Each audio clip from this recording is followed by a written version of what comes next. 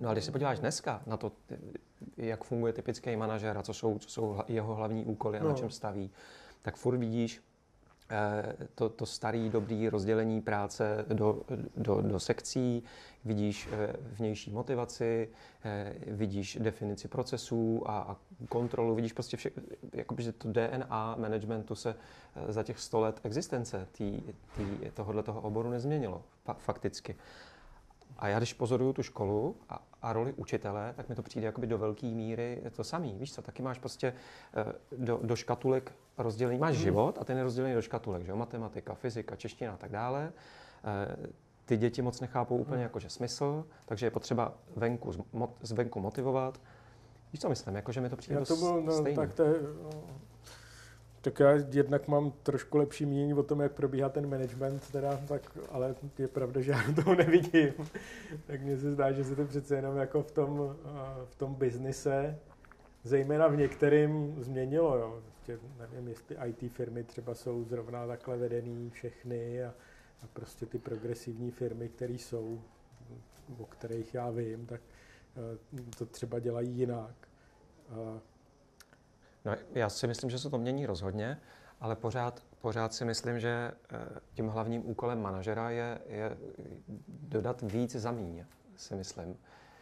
Víš, jakože efektivita, eh, produktivita je tím hlavním úkolem ne rozvoj lidského potenciálu, ne, aby to lidi opravdu bavilo. To si myslím, že není úplně tím... Jo, jako dneska. No jo, no, ještě tak, dneska. Víš, samozřejmě, že, že tím, určitě to není tím praúkolem eh, manažera. A myslím, že čím víc to studuju, tím víc zjišťuju, že, že to DNA je furt prostě stejný. A víš, jak říkáš, no, že prostě... tak to je, to, to je potom... Hm, a, no já na to řeknu dvě námitky. Za prvé, to, je, to, to, o čem mluvíš, jsem to dobře pochopil, to je vlastně hodnotová otázka. Jo. Pokud prostě žijeme ve společnosti, kde si lidi myslí, že nejdůležitější je vydělávat peníze, hmm.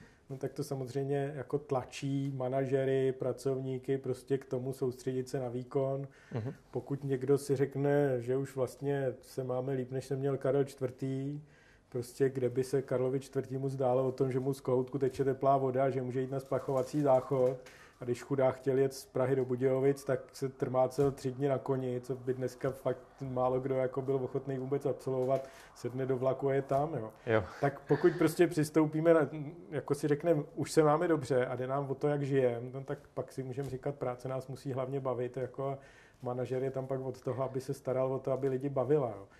Ale, uh, pak se to, začne měnit jeho role, no. Ale myslím, pak se, no, ne... ale to je, jako, to je hodnotová otázka, jo, kterou jo, jako, jo, jo. jako technikálie jí řeší jenom z části.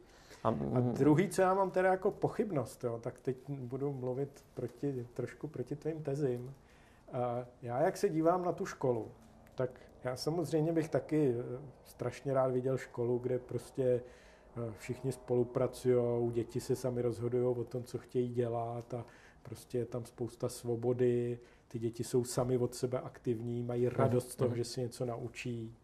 Uh-huh. A vím, že to jde, ale vím, že to jde jenom s některýma dětma. Uh-huh. A já nevím, jestli to jde ze všema. Jo.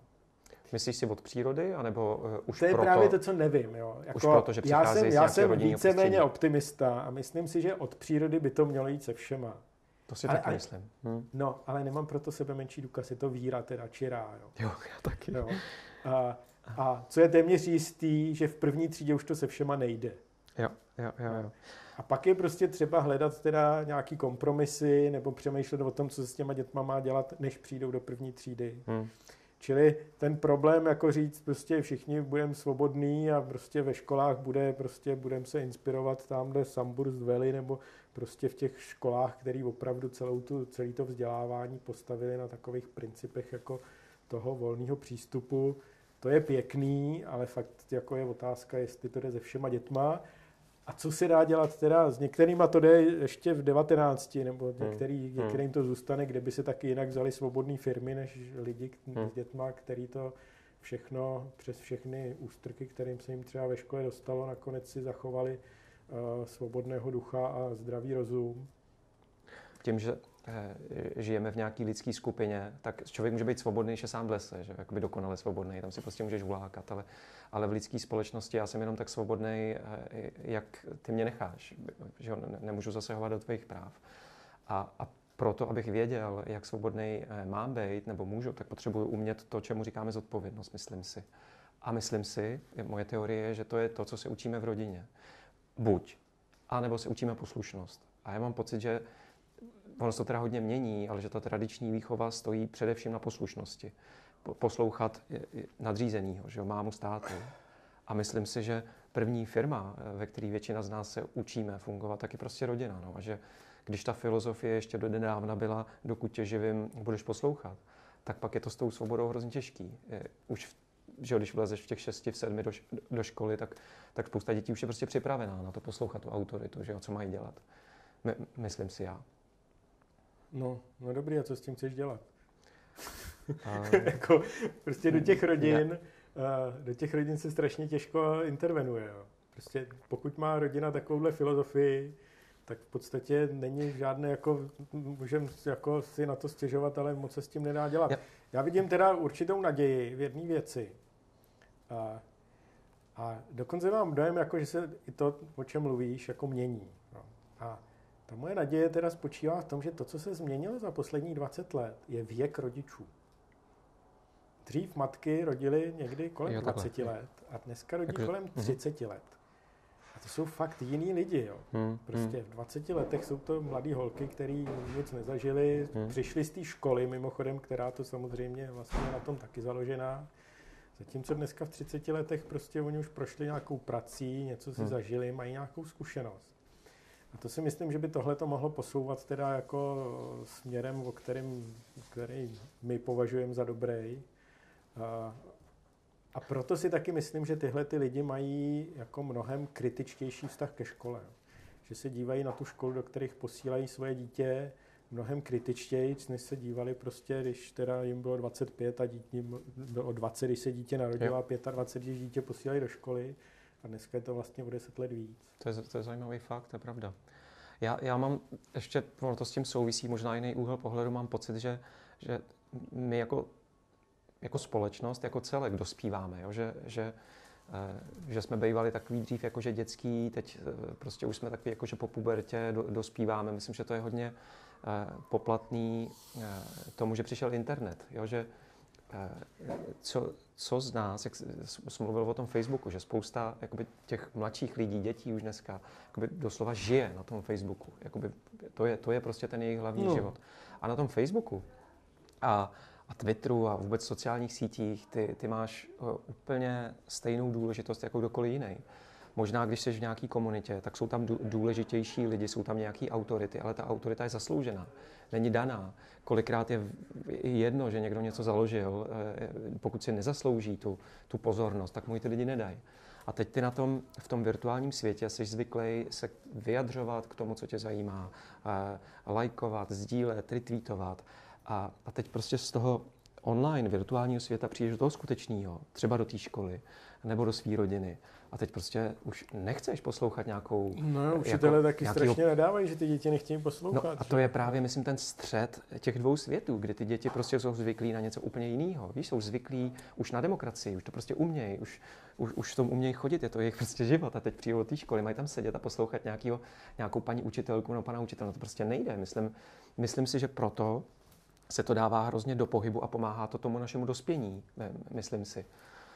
A, a myslím, že to je vidět jakoby na, na všech těch jako, jakoby právech eh, dřív těch menšin, že jo, nejviditelnější žen, eh, handicapovaných, gayů, že jo, gay pride dneska prostě běžná věc. Tak nějak tohle je moje naděje. Eh, díky tomu internetu, že prostě jakoby dospíváme, jsme schopní vzít tu svobodu do svých rukou a už se jakoby no, častěji a častěji rozhodovat. Jako internet je jistě mocné médium a jistě nás někam posunuje a souhlasí s tím směrem, o kterém mluvíš. Otázka je teda, jestli taky vede k té zodpovědnosti, jo, protože za to chování na internetu tam se ten svůj profil vymažu a je pokoj a můžu předtím nadělat bordel, jaký chci. takže jako by ta zodpovědnost za ty činy, nevím zase, jako jestli to jako je v tomhle směru ne, nemyslíš si, že se zlepšuje i tohle? Já mám pocit, že když jsme Já s tím začali, ne, tak bylo takových, na takových těch e-dnesech a tohle, tam bylo spousta špíny. Jak máš ten, ty máš na aktuálně blog, že jo? tak tam no. se taky si dovedu představit, že bude spousta jakoby nezodpovědného chování. ale já mám pocit, že když patříš už do nějaký fakt komunity, když už jakoby chodíš někam, kde minimálně podle těch profilů se znáte, tak tam, když začneš eh, plivat na někoho špínu a, a, a chovat se nezodpovědně, tak oni tě vykopnou, podle mě. Tak, takže se čo, to člověk, já teda jsem optimista v tom, řekl bych, no, že, že se to zlepšuje. Myslím. Moje odpověď, moje odpověď je, že já nevím, jo, jestli se to zlepšuje. Řeknu zase teda uh, jinou věc.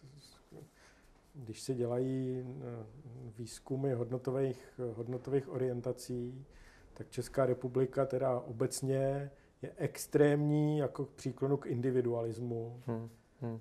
Oproti prostě nějakému sdílení hodnot a společnosti vůbec. A pořád se to posouvá. Jo. Takže to je 19 k jedný, k tomu individualismu. Což hmm. mimochodem je pro tu školu taky problém, protože ta škola je teda založená na hromadné výuce. Může to být problém pro ty manažery, o kterých mluví, že každý jako chce být nějak svůj, hmm. nechce moc převzít zodpovědnost za ten celek a nechce, aby mu do toho někdo moc trkal nos. Hmm. Takže no, jestli se to zlepšuje, je to těžký. On zase, když kolem sebe člověk vidí tu politiku, tak je zázrak, že se to nezhoršuje víc, teda když, nebo že nevidíme nějaký silný znaky, že se to zhoršuje. Tak, hm. já, já zase mám taky, když přemýšlím jakože o, o, o, vývoji, kterým člověk prochází a, a tím pádem i společnost, tak vidím, že nejdřív je člověk závislý, že jo? děti jsou na nás závislí, eh, starí lidi, eh, ženy dřív bývaly na mužovi závislí.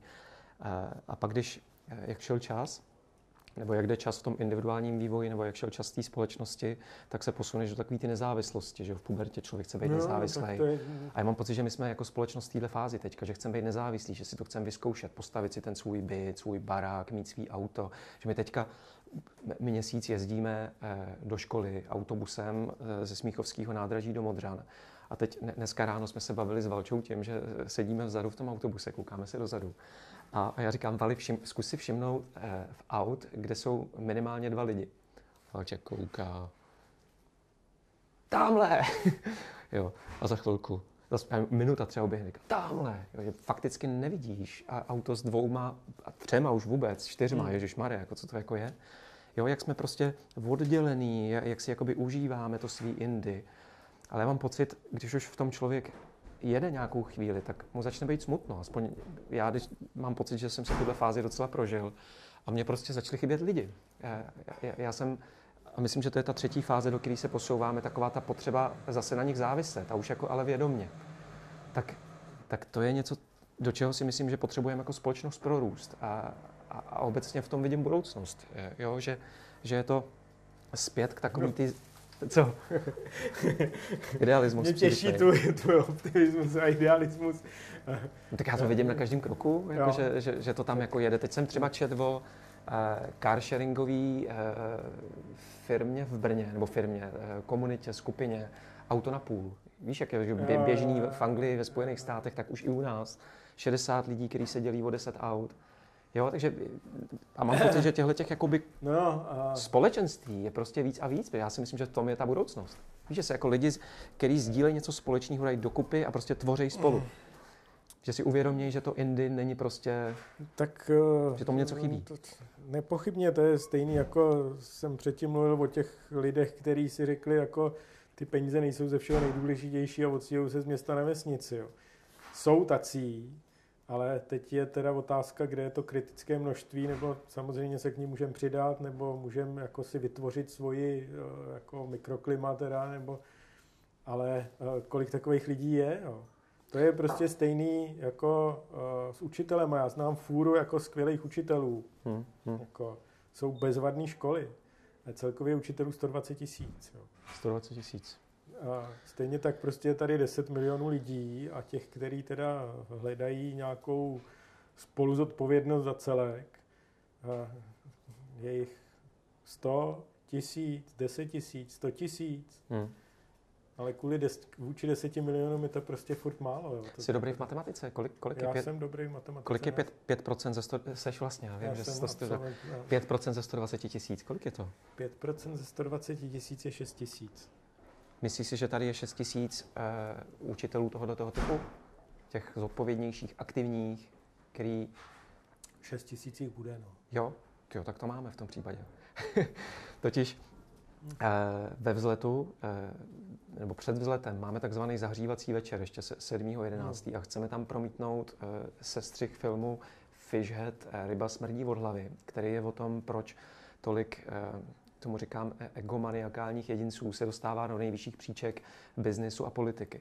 A provádí to tam, já nevím, jak se jmenuje ten, ten člověk, který tím dokumentem provádí, ale končí myšlenkou, že říká, že eh, v každém eh, druhu, který se organizuje do stáda hejna nebo smečky, v případě nebezpečí potřebuje zhruba 5 až 6% jedinců, aby si všimli nebezpečí a uvědomili o tom ostatní, aby ten druh v konečném důsledku přežil a říká, otázka je, eh, jak blízko my jsme těm 5%. A mě to, si myslím, že už kvůli této myšlence stojí za to tak se na ten film podívat. skeptický pevně, že teda uh, může to být pravda, nemusí s těma 5%. za druhý, jako kdybych to vztáhl na učitele, tak to jako říká, že jestli ten druh přežije nebo nepřežije. Nebo já Obecně vlastně, společnost, to... myslím, jakože... A, a druhá jako tohle platí pro malý, jako, jako asi malý stáda, že když je 100 lidí a mezi nimi bude pět nějakých vůdčích, tak to si dovedu představit.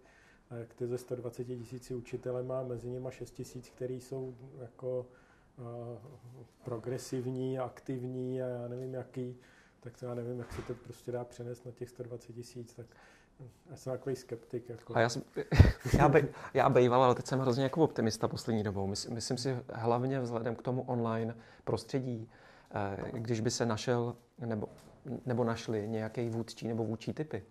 A díky tomu online prostředí dneska jsi prostě propojený se všema. Jak si myslím, že ta změna může být daleko rychlejší, než by se nám mohlo zdát, si myslím. A jestli myslíš, že no, už tak tady... Oni, tak já tady začínám dělat takového advokáta diabolí, jako se všema jsou všem pro, propojení taky ty gauneři, že jo, takže... To taky, no jasně, tak to je ale to je prostě... stará, stará jakože... No, takže to, jak to budeme využívat ty sítě, nepochybně je to mocný nástroj, ale... Jak proto, tak proto. Závisí to na tom, co převáží.